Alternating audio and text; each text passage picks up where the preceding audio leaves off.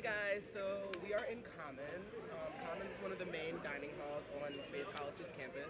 Um, we are um, about number nine in the world in the colleges for best food on campus or in the United States period because our food is really good and we have really It good is. service. Um, so this is Maya and this Hello. is Topher. so are, so tell about your favorite Commons food, guys. Okay, so today, um, Commons have my favorite meal, is, of course, the chicken patties. They're better than any chicken patties you will ever get, and they're especially good on Saturday afternoons. But today is uh, a Wednesday evening, and So you know, are it's, still it's, amazing. it's, it's, it's still good. It's alright right now, but it's good. Yeah. it tastes better than a lot of other colleges, especially Penn State. Ooh, there's a shot. Okay. So yeah, and that's our thing. So we'll see you guys soon.